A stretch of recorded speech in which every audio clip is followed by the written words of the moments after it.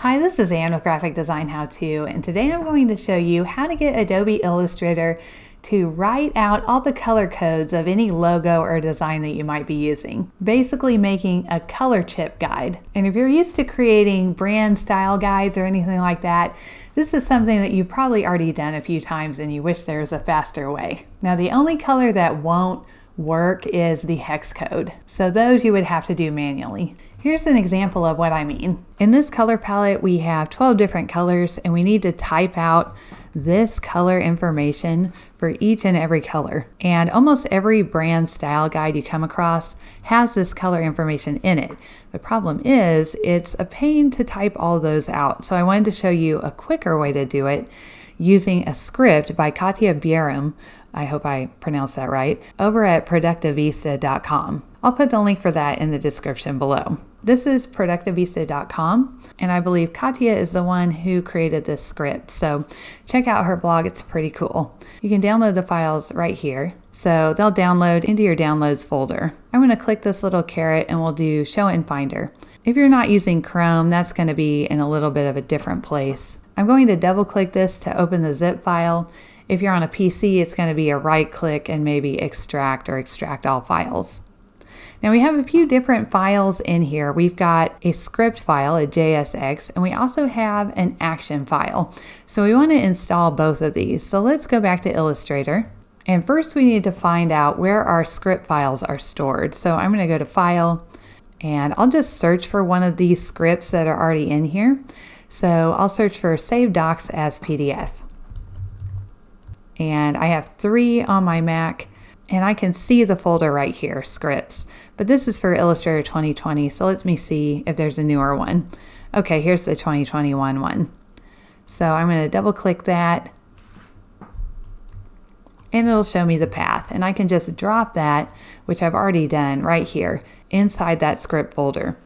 So on a Mac, it's going to be Applications, Adobe Illustrator 2021, or whatever your current version is, um, Presets, ENUS, and then Scripts. Now on Windows, it's going to be something like Program Files, Adobe, Adobe Illustrator, CC 2021, Presets, ENUS, and then Scripts. So now when we restart Illustrator, it's going to be in the list. So go ahead and do that. I've already restarted, so when I go to File, Scripts, you can see it right here. It's called Color List. And it's always going to be in there until I update to a newer version of Illustrator. And maybe even then it'll keep it. Now I also want to load the action that came in that folder. So I'll go to Window, Actions.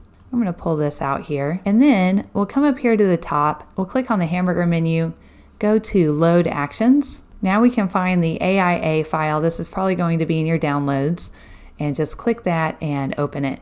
And now we have our new action right in here. Now you've got your folder and then you've got the action inside it. So I'm going to double click over here to the right of the action, not on the name itself, but over here. And then I'm going to set a function key. So I've set mine to Shift F2. Um, you'll just want to choose something you're not already using for something else. And we'll say OK. And now I'm going to open my logo that has all the colors that I want to grab. I'm going to close my actions. Next, I'm going to open my swatches panel. I'll just pull it out. That'll be under Windows swatches if you're not seeing it over here. If I use my direct selection tool to click on this, it is Pantone 225 and all the other Pantone colors are in my swatches. When you're creating a logo for someone, you usually want to use Pantone colors because those are standard colors that are the same for everyone. Usually designers have a Pantone color swatch book that you can choose the colors that you want exactly. So we'll want to grab all these Pantone colors and list those out. I'll select my logo and then I can just hit Shift F2. It'll ask me about a color group and I'll say OK. So it adds a color group with all those Pantones. It creates this little color group and then it deletes the color group that was in the swatch panel. All right, so that is the first step, getting those Pantone colors. Now I want to get the RGB colors. So I'm going to go to File, Document Color Mode, and make sure it's set on RGB here. Then I'll select all these swatches and just throw those away. And that kind of removes the Pantone from your logo. And now it's just RGB colors. Now these are a group and I'm just going to move them down a little bit. I'll select all my colors again, and then hit Shift F2 again. It's going to do the same thing, except this time it's going to make RGB colors. So we can see those here. So I'll get those and move them over here. And now we'll want to change our document color mode to CMYK. And do that one more time. So I'll hit Shift F2. It'll make a color group and then put them in that same spot. Okay, and here are my CMYK values. Now, I was having trouble with this. I think Illustrator was being a little glitchy. So I had to start a new document, copy and paste my design in there, throw away the swatches, which for some reason were still coming up in the swatch panel, and then run the action from there. And then it was able to grab the CMYK values. Now at this point we have all the text that we need except for the hex codes, which we have to do manually. So what I want to do is put the RGB underneath the red color and then the CMYK underneath that, but I don't really have enough room.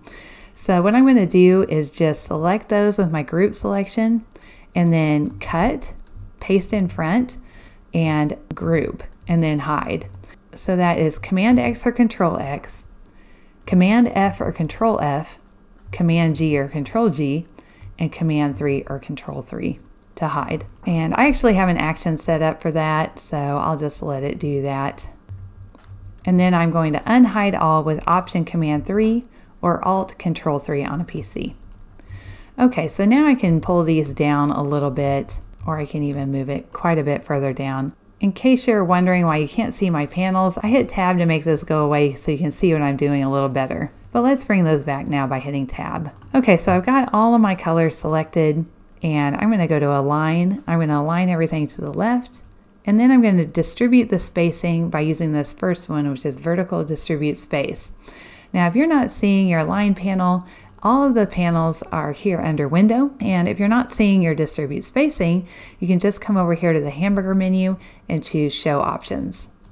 I'm going to delete the words color group then I'll ungroup these pull this one down here and then I'll pull this one down here we'll align to the left and we'll distribute the spacing. Maybe we can move this one up a little more. I know I'm going pretty fast but it's all just alignment um, and distribution. I can get all of these where I want them. Of course, if I want to distribute the spacing, I have to ungroup them, distribute, and then I'll group these again in case I want to move them together as a group.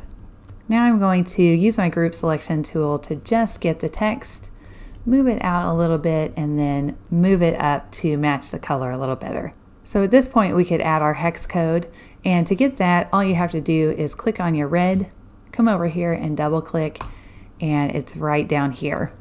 So now you would want to play with the format. So as we saw on this example, they've got dots in between them and we've got the whole word CMYK instead of C equals, etc. So we could do a find and replace and change all the R equals to RGB colon or something like that. So let's do that. We've got R equals and we'll change all those to RGB colon space. We'll find and replace all. Now you can see we have a similar format as the other one. We could find all the space G equals and change that to a comma space. And then do the same with the B. So now we have RGB colon 243, 39, 53. We could also do that with the Pantone so that it matches. And I'm going to quickly go through and find and replace this so it has the same look as the above, as the Pantone RGB. All right, so that's it. Now we have our list of colors for everything that was in this logo. Of course, we'll still need to add the hex code. We can't really do that automatically like we did with the other colors. So you would just have to go in and find out the hex codes and add those. But I think this way of doing it with the script and the action is so much faster than actually clicking on each one, copying all this information and entering it um, one by one.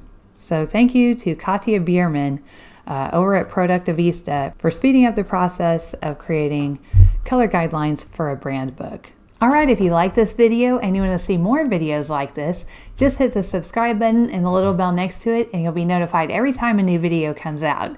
All right, I'll see you in the next video. Thank you.